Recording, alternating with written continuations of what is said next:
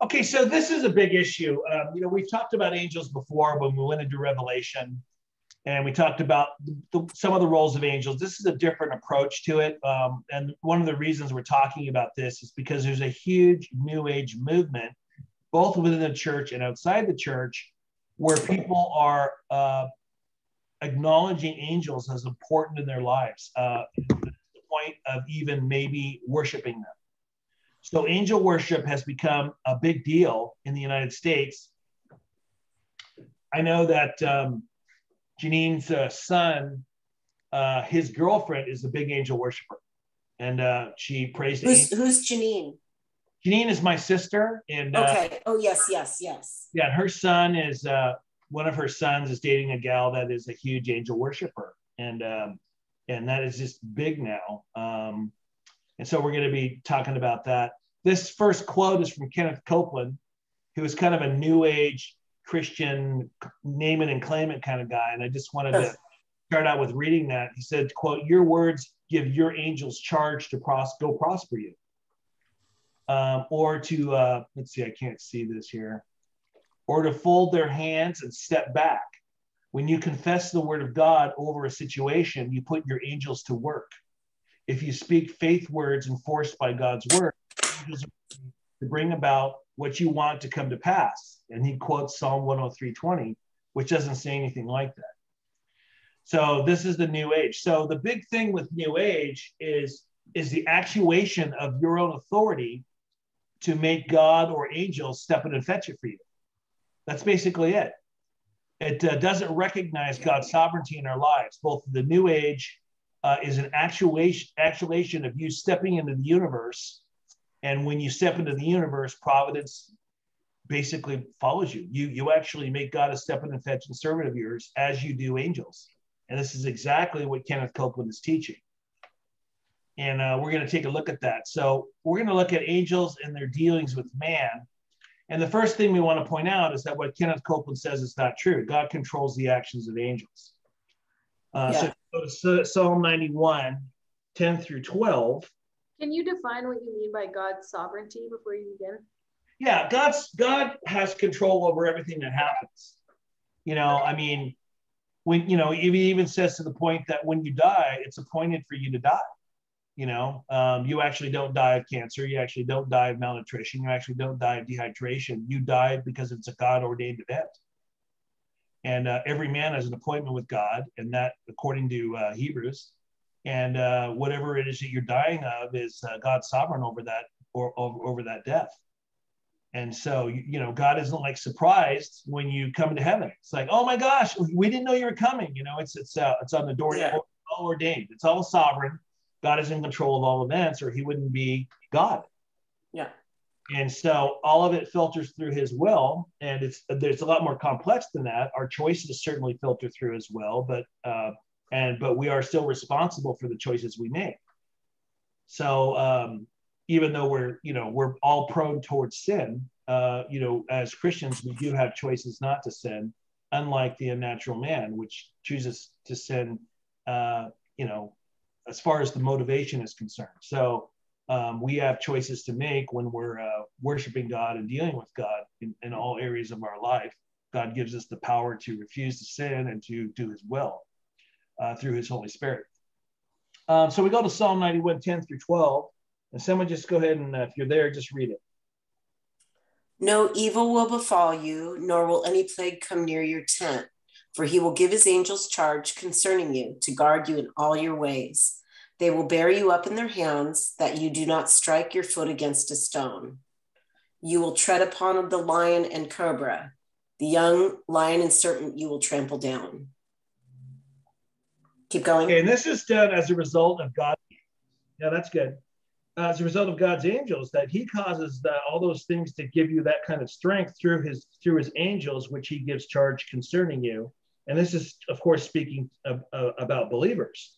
And this is, of course, a passage that Satan uh, tempted Jesus with. This passage, he basically said, "Hey, why don't you just jump off the temple because it says in Psalm 90 that he will give give his angels charge concerning you, so that you uh, your foot does not strike against the stone. You know, asking him to you know jump off the building. And of course, this passage doesn't apply to that because uh, Jesus wasn't just willy nilly doing whatever he wanted for some stupid reason, uh, just to jump off a building. Um, and that and, and Satan knew that that uh, was a self would be a selfish request just to show his might and power uh, for no no particular reason. That's also one of the reasons that we reject many of the false gospels because they have Jesus performing things like he's a magician, you know, creating birds and uh, and doing all this stuff, showing his power. He pushed down a little boy in the Gospel of Thomas and killed him, you know, just to show he was powerful. So those are obviously things that are not that, that are miraculous things that don't give Jesus the ability to do whatever he wanted. Actually, he did things in accordance with the will of God, and all of his miracles and everything was in accordance with God's sovereignty.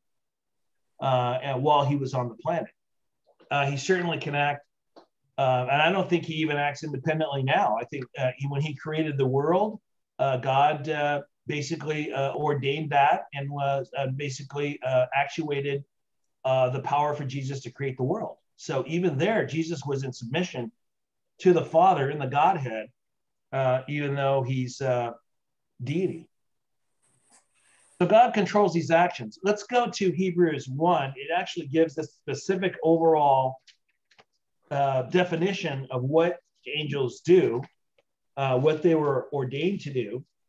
And then if you go to Hebrews uh, chapter one, it discusses angels in detail because it wanted to make clear that Jesus was higher than the angels. But to which of the angels has he ever said, Sit at my right hand until I make your enemies a footstool for your feet? Are they not all ministering spirits sent out to render service for the sake of those who will inherit salvation? Okay, so he says right here that angels are ministering spirits. They're de- they're designed to minister in our lives. I don't know exactly what that means. Uh, when what in what ways do they minister? You know, um, so it's hard to exactly know that. Uh, even when it says, you know, even when Jesus was tempted, uh, which I don't have in here. What's the Greek word for, did you look up ministering here, used here? Ministering just means to uh, assist and comfort. That's it.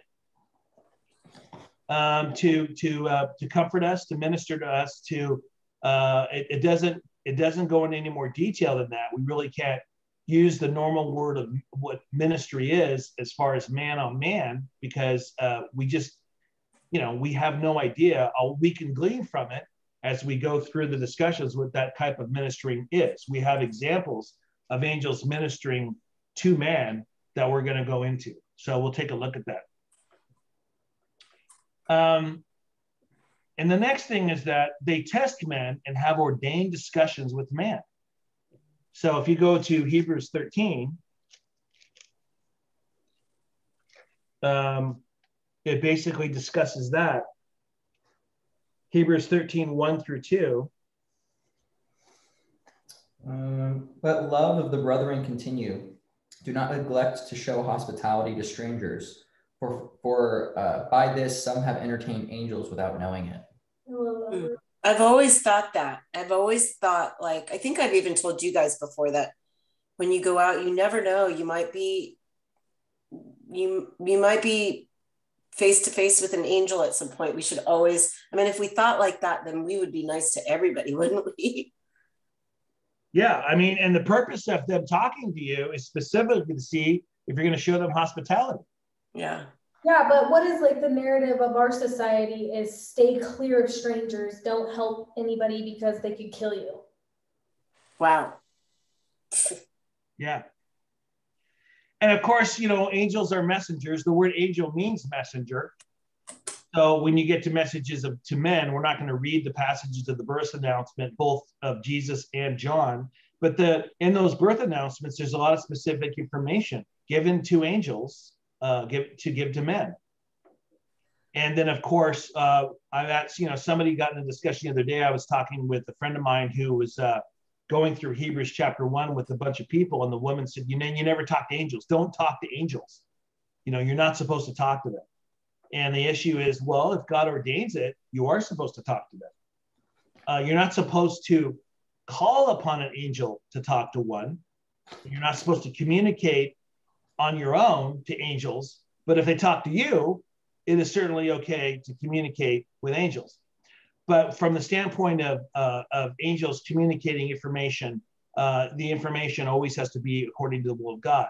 You know, angels can, you know, you can have an evil angel uh, give messages, uh, in which angels give messages in exorcisms. Certainly, evil angels and demons speak to men when they're uh, possessing them, and they can take over their bodies and speak messages out, out of their bodies. Certainly, angels can do that. So keep in mind that evil angels and regular angels basically have the same powers. There are no, you know, good angels do not have more power than evil angels. They have equal powers. And um, and God, you know, created it that way. Go to Galatians 1 8.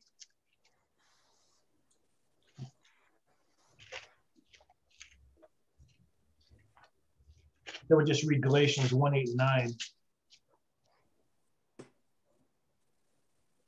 But even if we or an angel from heaven should preach to you a gospel contrary to what we have we have preached to you, he is to be accursed. As we have said before, so I say again now, if any man is preaching to you a gospel contrary to what you received, he is to be accursed. Hello, Moroni. The angel Moroni preached a different gospel that the Mormons received uh, and claimed to be an angel from heaven. And right here, Paul says, if anyone's to preach a different message than what you have received. So an angel is never going to give you a different message. Even if it was ordained by God, an angel would never speak anything and give you new revelation that's different than what we've already received. It would just never happen. And of course, we have this same thing happening uh, in the Catholic Church where people will see visions or visions of Mary uh, or people who have died or angels who come and give them some message that's contrary to what we've already received in the scripture. You're not going to get new revelation from any angel that's different than what God has already commanded in the scripture. If you get any communication from an angel, it's not going to compromise anything uh, that's in God's word, regardless of what they tell you to do or what they're talking to you about. The next thing is that men are never supposed to condemn any kind of angel. This may seem obvious, but I'm going to give you some examples as to what's happening especially our, with our charismatic friends, uh, in relation to angels and condemning angels. Go to Jude chapter 1. What do you mean? What's happening? What is happening? I'm going to give you an example after we read this. Okay. Jude, uh, Jude uh, chapter 1, verses 8 and 9. Yeah, in the same way, these men also by dreaming defile the flesh and reject authority and revile angelic majesties. But Michael the archangel, when he disputed with the devil and argued about the body of Moses, did not dare pronounce against him a railing judgment, but said, The Lord rebuke you. But these men revile the things which they do not understand, and the things which they know by instinct, like unreasoning animals. By these things they are destroyed. Woe okay, that's good. So this is basically saying that men who come into the body of Christ, who are false prophets, uh, they reject authority and they revile angelic majesties. In other words, they're saying things about angels or demons and taking authority over them.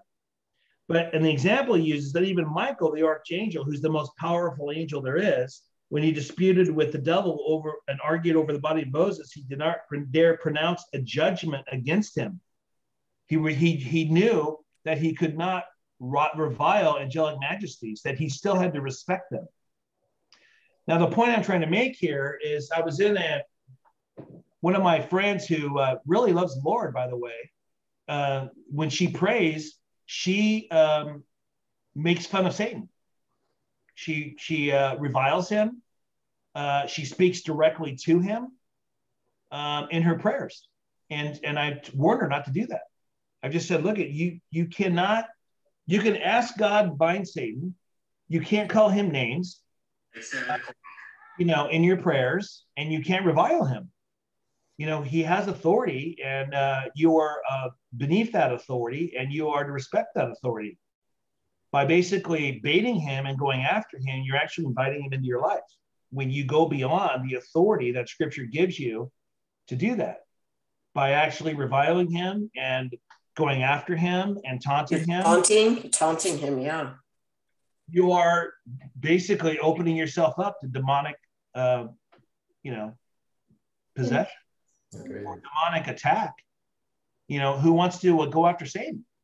You know, the whole point whole point is to keep him away from you, not to make him angry at you, and then have God go to him and say, "Hey, this person is taunting me and doesn't have any respect for me. Um, what if I? Uh, why don't you give me a give you a shot at him? It might just be granted." Ugh.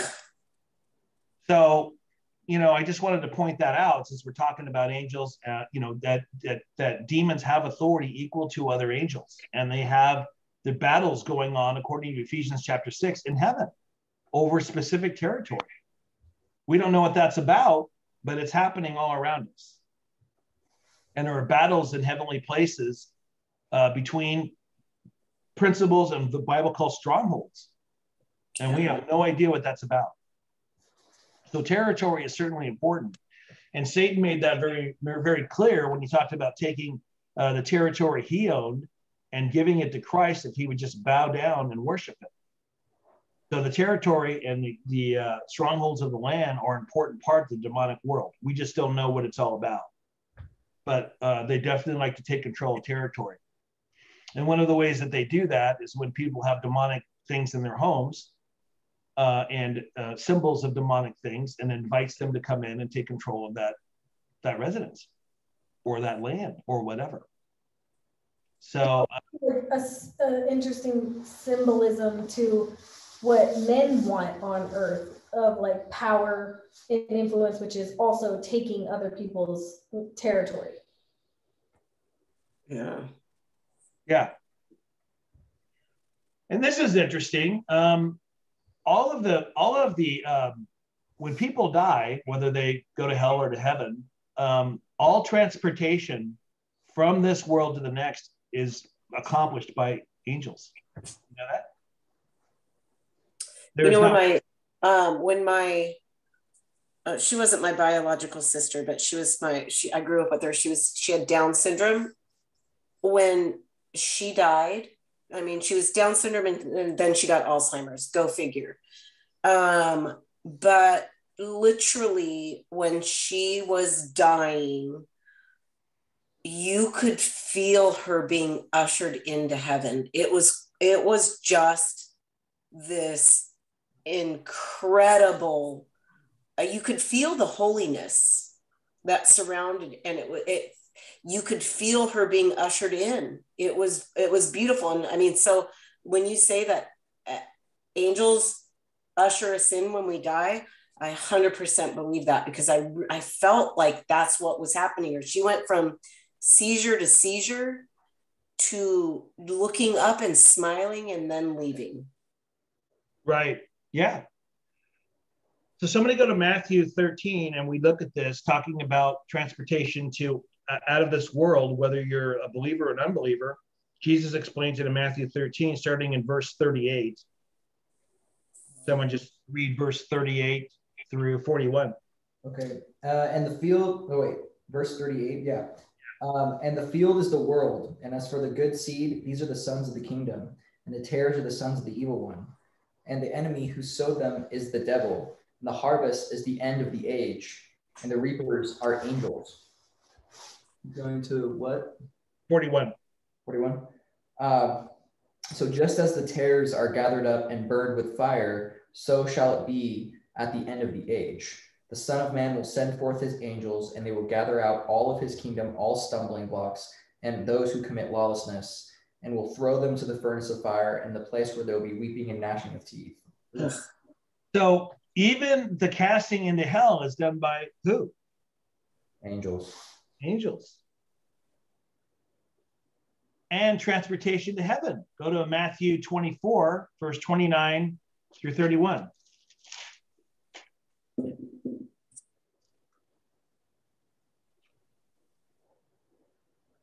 Matthew 24. Matthew 24, what again, Ralph? 29. Uh, 29 through 31. Matthew 24. But immediately after the tribulation of those days, the sun will be darkened, and the moon will not give its light, and the stars will fall from the sky, and the powers of the heavens will be shaken. And the sun, sign of the Son of Man will appear in the sky, and then all the tribes of the earth will mourn, and they will see the Son of Man coming on the clouds of the sky with the power and great glory. And he will send forth his angels with a great trumpet, and they will gather together his elect from the four winds, from the end of the sky to the other. The angels are going to grab every single believer and deliver them to heaven. Woohoo! Wow. Each will have his own angel. So that's how many. Our own personal escort? That's Yeah. what I'm talking about, baby. I hope I get a white horse too. Yeah. Me too. Found out my personal angel's name. It's Harry.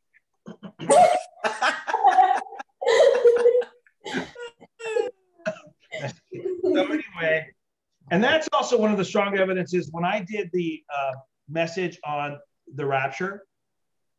Um, this is how the rapture, the rapture actually happens just before the end. This gathers every saint just as Jesus is returning. It's it's not something that happens at the beginning of the tribulation. And if I attach all these scriptures together, you'll actually see that uh, from the time that the judgments come upon the earth to the time that the rapture takes place is very quick. They're not they're not separate. They're not three years apart. They're not seven years apart. They're immediate. Uh, and Revelation makes that clear too. These are immediate. Uh, when I mean, the people are going up to heaven while the bowls are right as the bowls are being poured out upon the earth. If you take a close look at Revelation, and I mean, you might you might even be able to feel the heat as we are being raptured going up. And that's a whole nother study. I've done a study on that. I've gone to specifics about how I really do believe that the uh, rapture is just before the end uh, of the tribulation and not at the beginning. And um, that has been something, uh, those, those scriptures have been um, maligned. And one of the scriptures they use to prove that point is that, you know, uh, for, you know, believers are not subject to wrath. But keep in mind that all the events of the tribulation are done by men upon men. Uh, the first six, the last bowls are when God pours out his judgment directly upon the planet. So the first six trumpets uh, are not God's wrath is not going, not killing any believer. So that has destroyed that particular passage. That's the main passage they use, saying, "Oh, well, we're not going through the tribulation because you know God's going to spare wrath of His children." Well, God, God protects believers. No one dies as a result of that wrath. Uh, people who convert in the middle of tribulation are certainly killed by the Antichrist, but they're not killed by God, and they're not they're not affected by His direct wrath uh, that is poured out upon the earth. Um, God has dispatched angels for children to specifically protect them. Very interesting passage. Go to Matthew 18. That is like, before even reading it, just listening to that is very encouraging. Because I worry about that. I'm sorry, say it again. You broke up. Oh, I was just saying that's encouraging to think about. Yeah, let's look at this for a moment. I'm going to give you a real life story. You need to watch this movie after I explain how this verse was actuated in this movie. It'll blow you away. So, someone read uh, verses uh, 9 through 10 of Matthew Matthew um, 18. Um, if your eye causes you to stumble, pluck it out and throw it from you. It is better for you to enter life with one eye than to have two eyes and be cast into the fiery hell. See that you do not despise one of these little ones, for I say to you that their angels in heaven continually see the face of my Father who is in heaven, for the Son of Man has come to save that which was lost. It says right there, I say to you that their angels, they have specific angels designated them. And we're not talking about just uh, uh, believing children. God protects all children, belie- believing and unbelieving. He has protects them. They all have their angels. There's a movie called uh, The Cokeville Miracle. The Miracle of Cokeville, one of those. You can get it on Netflix. Um, it's a true story about a man and his wife who went into a school in Cokeville. Uh, they gathered a hundred and something kids into a room. They had a bomb. This bomb uh, was uh, he detonated on before he went into this room. He practiced on a school bus, and it completely completely destroyed the school bus to where there were only like sizes of metal that were as big as a tire and he completely tore it apart. He takes it into this schoolroom, and um, all the kids are in close proximity to the schoolroom where this bomb is. He has to go to the bathroom, and when he leaves, he puts his wife in charge of the bomb. She accidentally detonates the bomb within feet of these children, and not one child died. Uh, the investigators came. The bomb exploded up through the ceiling even though it was designed to blow specifically sideways. And they couldn't explain it. They interviewed the children and asked them what happened. And the majority of the children they spoke to said that there was a person in the room guiding them to the windows.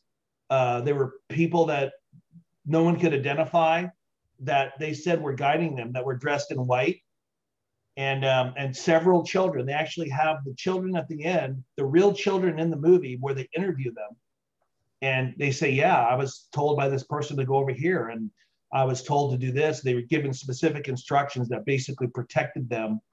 Um, there were angels in that room, and so basically, um, not one child died.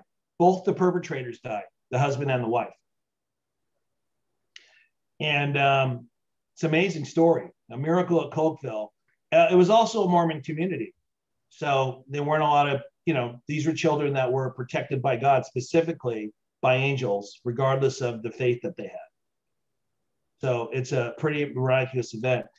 Also, one of the investigators who doesn't believe in God uh, identified the bomb and he said that there was a wire cut and it was a fresh cut. They couldn't explain how this wire got cut. They interviewed everybody. He the, the guy, the perpetrator didn't cut it. His wife didn't cut it, but there was a one of the wires was cut that would have detonated it to like three or four times its detonation power. I need and to see that movie. Can't explain it. Yeah. There's an interview of that. Uh, there's a whole interview online between him and a reporter who's trying to debunk the whole thing. And the guy says, Look, it can't be explained. There's all kinds of evidence on this particular deal that we can't explain. What, what did, did, did, those, uh, uh, most of those children end up being believers as adults?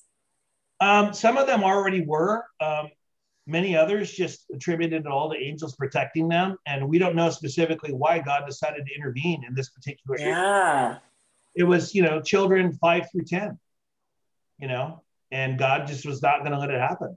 So, you know, this kind of thing happens, I'm sure, all the time. And, um, you know, I was just watching uh, something the other day about the miraculous, uh, uh, just you know, how Israel almost got destroyed in the 1973 war. It's called it's a it's a documentary called Against All Odds. It's about how Israel should not have uh, survived any of these wars. Obviously, there were angels involved.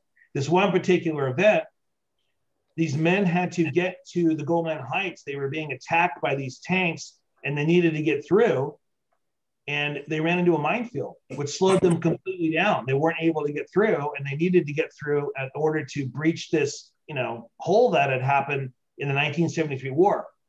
Well, as they were trying to go through the field to dig up these mines, this amazing wind came for like 20 seconds, like 60, 70 mile an hour winds. And when it stopped, it blew all the dirt off all the mines so they could see where all the mines were. And uh, the wind never came back. It only was a 60 or 70 mile an hour wind for like 20 seconds, and then it was completely calm, and they were able to walk through the minefield because it blew all the dirt off the mines. So it's pretty amazing stuff, you know. Uh, you know whether that was a miraculous thing by God or by angels or whatever. Um, it's interesting that Psalms. Uh, there's a verse in Psalms that calls angels the wind. So I don't know. Could have been the angels in the wind. We don't really know exactly what happened there. And then, That's of great. course, we have the situation where angels can actually assist men. Uh, go to Acts chapter 5. This is all through Acts, by the way. Acts chapter 5, verses 17 through 21. Someone just read that. But the high priest rose up along with all of his associates, associates, that is, the sect of the Sadducees, and they were filled with jealousy. They laid hands on the apostles and put them in a public jail.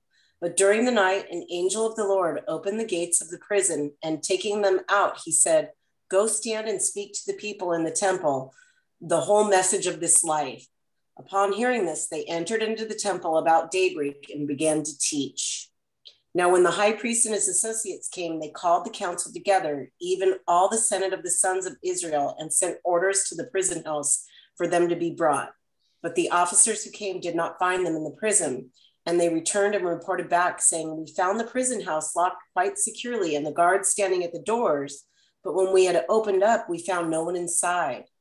Now, when the captain of the temple guard and the chief priests heard these words, they were greatly perplexed about them as to what would come of this. But someone came and reported to, to them, The men whom you put in prison are standing in the temple and teaching the people. Then the okay. captain, oh, go ahead, stop. Um, yeah, so notice here too, remember we talked about, you know, whenever the, I didn't, I didn't bring up any of the passages in the Old Testament when it says the angel of the Lord because that you know the angel of the lord is specifically jesus christ. When it says the angel of the lord or the angel of god.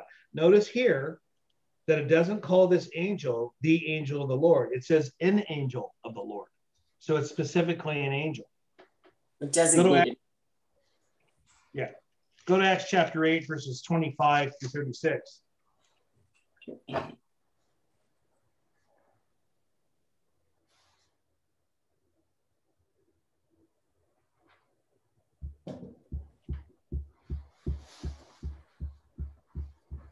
So when they had solemnly testified and spoken the word of the Lord, they started back to Jerusalem and were preaching the gospel to many villages of the Samaritans. But an angel of the Lord spoke to Philip, saying, "Get up and go south to the uh, to the road that descends from Jerusalem to Gaza." So he got up and went, and there was an Ethiopian eunuch, a court official of Candace, queen of Ethiopians, who was in charge of all her treasure, and he had come to Jerusalem to worship. And he was returning and sitting in his chariot and was reading the prophet Isaiah. Then the Spirit, this angel, said to him, There is no capital uh, S in the Greek, so this can't be the Holy Spirit. It's got to be consistent with the passage that it is a, the Spirit, this angel. Then the Spirit said to Philip, Go up and join this chariot. Philip ran up and heard him reading Isaiah the prophet. He said, You understand what you're reading? And he said, Well, how could I unless someone guides me? And he invited Philip to come up and sit with him. Now, the passage of scripture that he was reading was, He was led as a sheep to slaughter, as a lamb before a shear is silent. He did not open his mouth. In humiliation, his judgment was taken away. Who will relate to his generation? For his life is removed from the earth. And the eunuch answered and said, Please tell me, of whom did this prophet say this? Of himself or someone else? And Philip opened his mouth, and beginning from the scripture, he preached Jesus to him.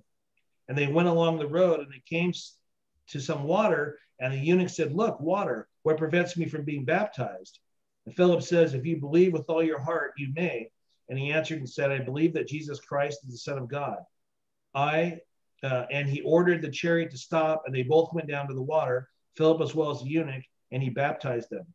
And when they came out of the water, the Spirit of the Lord snatched Philip away, and the eunuch no longer saw him. But when he was rejoicing, but Philip saw himself in Azotus, and he passed through and kept preaching the gospel. So angels are are, are doing transportation. That's uh, a trip. And that's not the only place people are transported in Acts by angels. Notice that God's not doing this. He's dispatching angels to do all these miraculous things. And when he does the miraculous, it's either through angels or through men. God and Jesus Christ does not do it. It's angels it says here though, it's not an, like a spirit of the Lord, it's the spirit of the Lord. So wouldn't that be Jesus? Uh, I don't know exactly. Um, I do think within the context of the passage, um, it's possible that it could be the Holy Spirit, but I really do believe that uh, there's no other passages where the Holy Spirit actually deals with men like this. It's always angels. And God specifically says that it's angels that minister and it's angels that he gives charge over and it's angels according to Psalms that do these things. So if even if the Spirit was directing it, I really do believe that it's angels that actually do the actions. Yeah, but in that particular one, wouldn't that be Jesus Christ though? Because he is referred to the Spirit of the Lord. Uh, it's possible, although the Spirit of the uh, you know this it's it's hard to say.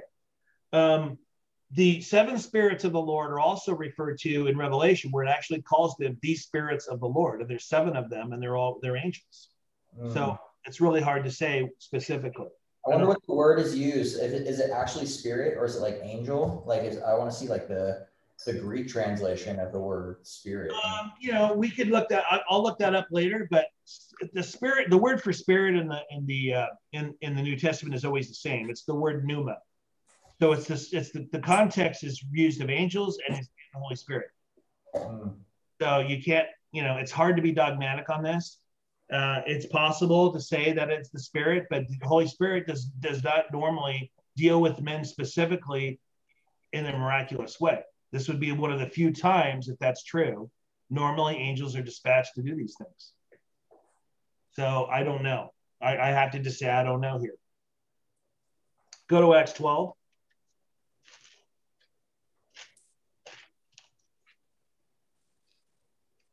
Acts 12, 1 through 12. 1 through 11.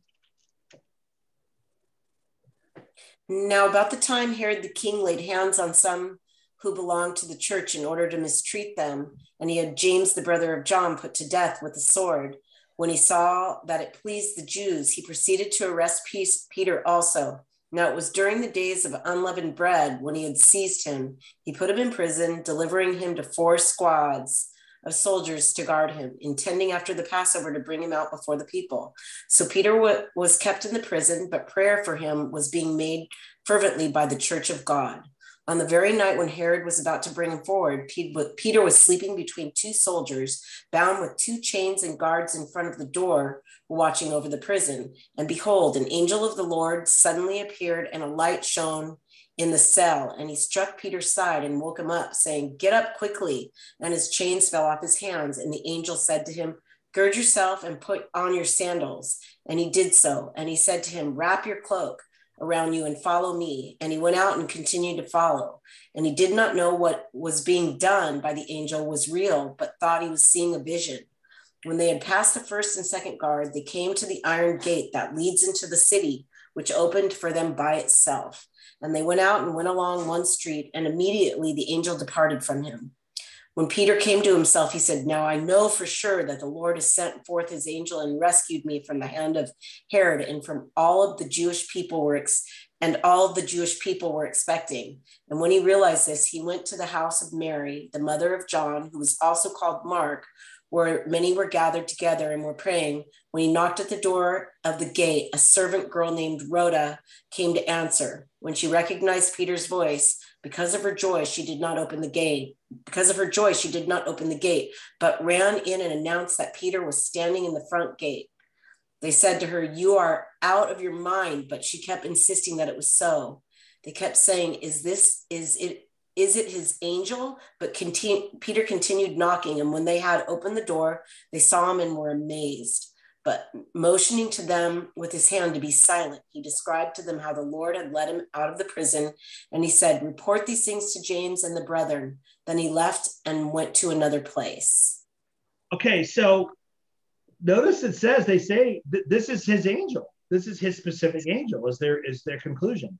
But also keep in mind that although it's obviously an angel that did this, uh, Peter says um, that he described to them how the Lord had led them out of prison. Was it the Lord that led him out of prison? No, it was an angel. Obviously, the Lord directed the angel to do that. So that might shed some light on whether it's actually the Holy Spirit who transported them or whether it was uh, basically actuated by the Holy Spirit or actuated by the Lord to have an angel specifically do the task. And of course, angels assist with battles. Go to Daniel chapter 10. This is a very, very interesting passage of scripture. Um, I don't really understand it, but it kind of it, it, it kind of blessed me. Go to Daniel chapter 10. You only kind of got a blessing? What did you say? I said you only kind of got a blessing? Kind of. So start in um,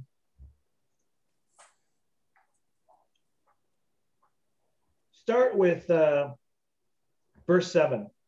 You ready? Ready? Go ahead. Daniel 10. Now I, Daniel, alone saw the vision, while the men who were with me did not see the vision. Nevertheless, I, a great dread fell upon them, and they ran away to hide themselves. So I was left alone and saw this great vision, yet no strength was left in me. For my natural color turned to a deathly uh, paler, and I retained no strength. But I heard the sound of his words. As soon as I heard the sound of his words, I fell into a deep sleep on my face, with my face to the ground. Going. Uh, then, then behold, a hand touched me and set me and set me trembling on my hands and knees, and said to me, "O Daniel, man of high esteem, understand the words I'm about to tell you, and stand upright, for I have now, or for I have now been sent to you." And when he had spoken this word to me, I stood up trembling. Then he said to me, "Do not be afraid, Daniel, for from the first day that you set your heart on understanding this." And on humbling yourself before God, your words were heard, and I have come in response to your words. But the prince of the kingdom of Persia was withstanding me for 21 days. Then behold, Michael, one of the chief princes, came to help me, for I had been left there with the kings of Persia. Now I have come to give you an understanding of what will happen to your people in the latter days, for the vision pertains to the days yet future. Okay. Now, if you go back further in the passage, it basically describes what this who this person is. Um, this personal angel. This angel, yeah. Verse five, it says, "I lifted up my eyes and looked, and behold, there was a certain man dressed in linen, whose waist was girded with a belt of pure gold. His body also was like beryl. His face had the appearance of lightning, and his eyes were like flaming torches. His arms like the gleam of polished bronze, and the sound of his words like the sound of a tumult." That sounds like Jesus Christ. Because Jesus That's is crazy. What? Can you imagine seeing that? I you're, you're drowning out. I said, can you imagine seeing that? No, I can't imagine. So Natalie, there's someone sitting next to you. Yeah, Kyson is here. Hello. Oh my gosh, you just freaked me out. I'm like, is that your personal angel I'm seeing right now? we got one more tonight. Yeah. Oh my gosh, that just kind of tripped me out. I'm looking and I'm listening, looking at you talking. I'm like, what is that? Who what is next to Natalie? so, here's why I'm so freaked out about this passage. I'm like is really confident that this person is like described as Jesus is described in Revelation chapter one, but then he's saying to Daniel, um, but the prince of the kingdom of Persia, which is probably Satan or some high ranking demon, was withstanding me for 21 days. This person, this, this angel, uh, was in this angel's face or Jesus's face for 21 days and he wasn't able to withstand him and had to call upon Michael to come help him. So I'm looking at this and going, this gives you a lot of idea of how powerful, you know, Satan is when God gives him authority. If he had to call upon Michael to help him uh, to get released from this three week dilemma. And if this is, I doubt it's Jesus Christ that for that reason, I think Jesus Christ could easily deal with the prince of the kingdom of Persia, but who knows? Maybe Jesus was limiting his powers and he was, you know, fighting uh, Satan for three weeks. Look at verse 18. Can you hear me? Uh, it says, Then this one with human appearance touched me again and strengthened me. Yeah. So it could be an angel. It's hard to say, but the point is they're fighting battles, man. People, their battles are being fought all over the place and angels are fighting them. And in this particular case, he mentioned to Daniel that, hey, man, I, I'm sorry it's delayed, but here's what was going on. And I had to get Michael involved in order to get released. Pretty serious stuff. And so they administer God's judgment also. Angels administer God's judgment. Go to Revelation chapter 8.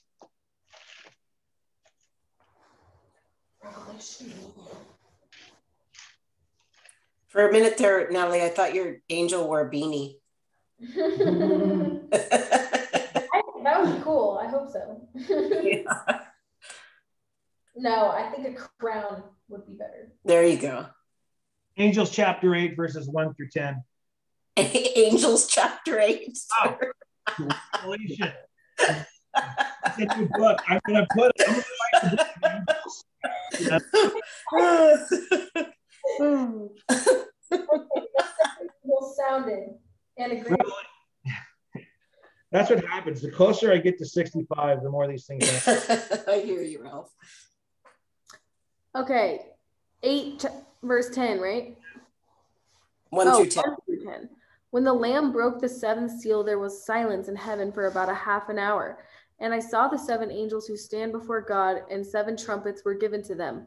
Another angel came and stood at the altar holding a golden censer, and much incense was given to him, so that he might add it to the prayers of all the saints on the golden altar which was before the throne. And the smoke of the incense with the prayers of the saints went up before God out to the angel out of the angel's hand. Then the angel took the censer and filled it with the fire of the altar and threw it to the earth. And there followed peals of thunder and sounds of and flashes of lightning and an earthquake. And Keep the seven going. angels who had the seven trumpets prepared themselves to sound them.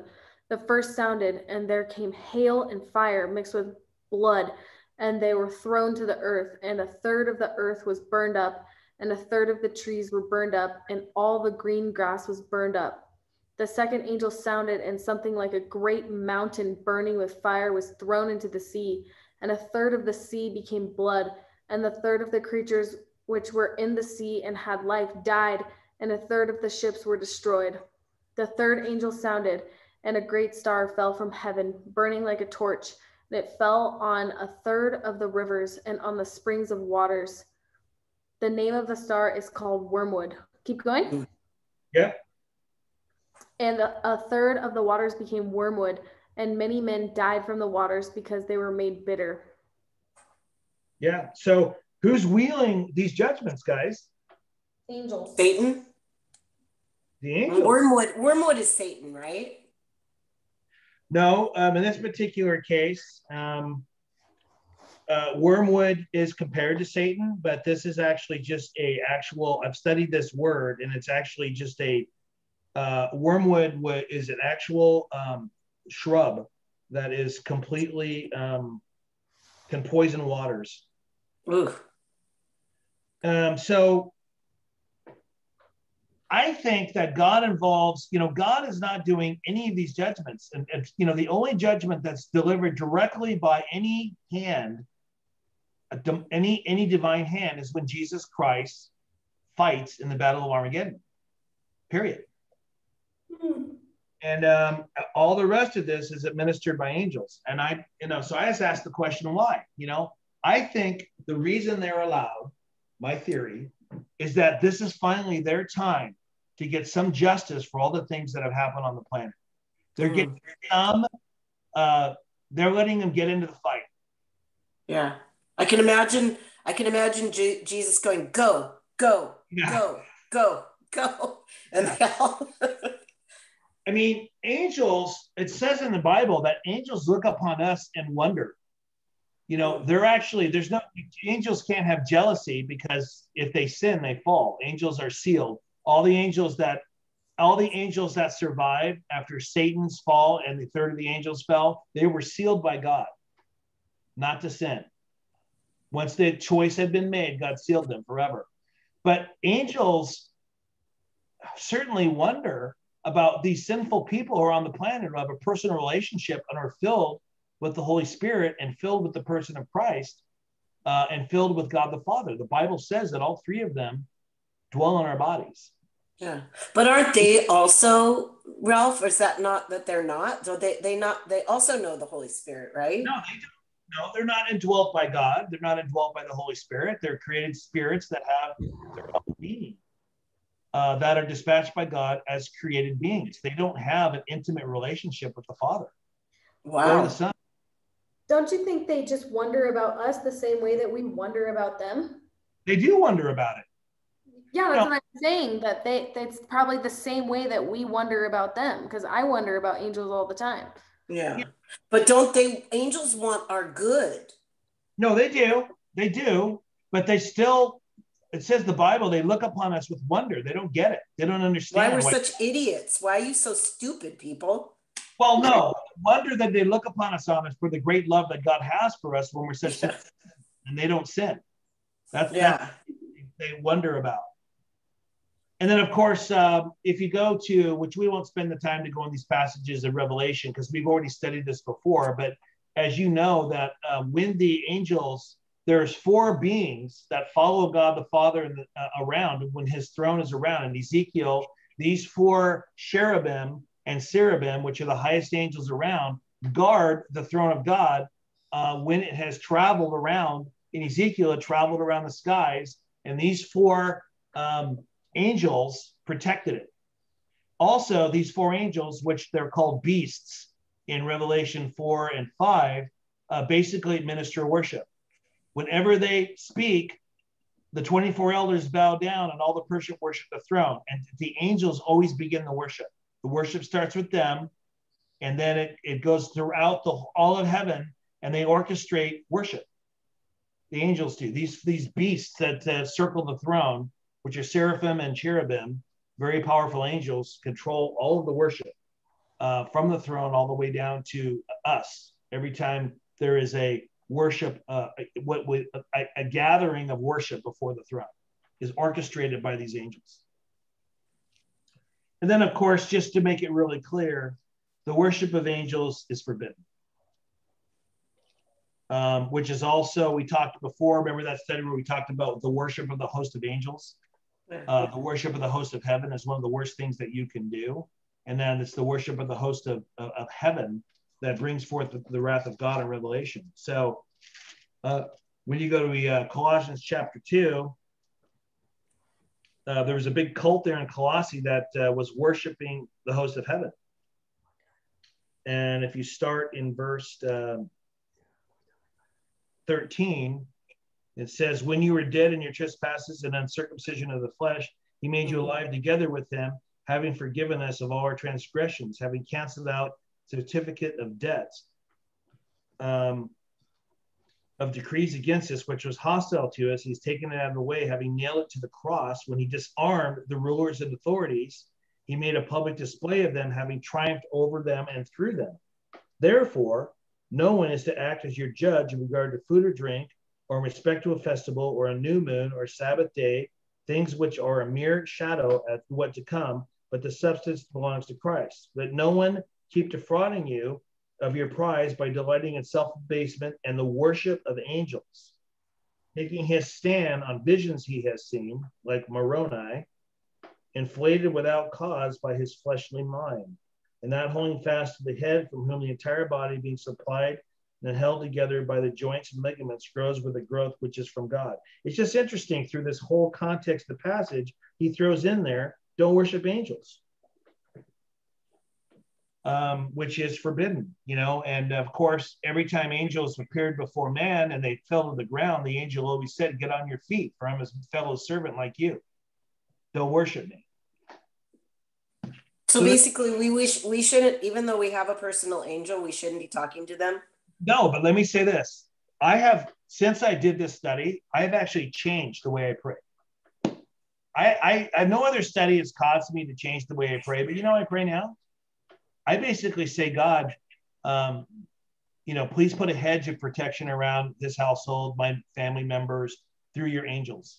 Lord, dispatch your angels, give them charge over us, and allow the full might of your angels uh, to protect us, uh, to uh, to minister to us, uh, for us to recognize their presence when they're around, and to thank you for uh, bringing your angels uh, to the battle with us.